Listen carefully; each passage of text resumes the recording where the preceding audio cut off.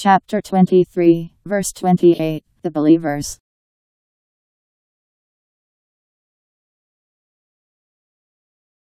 And when thou art on board the ship, thou and whoso is with thee, then say, Praise be to Allah who hath saved us from the wrongdoing folk.